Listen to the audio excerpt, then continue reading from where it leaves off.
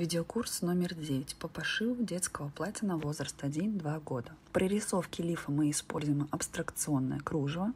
Учимся делать раскладку по лифу в 3D объемах. Можно использовать либо один, либо два дизайна кружева на ваше усмотрение. Расход материалов это один раппорт кружева, 6 метров фатина и 2 метра плесе. Плесе можно заменить на органзу, атлас, либо фатин.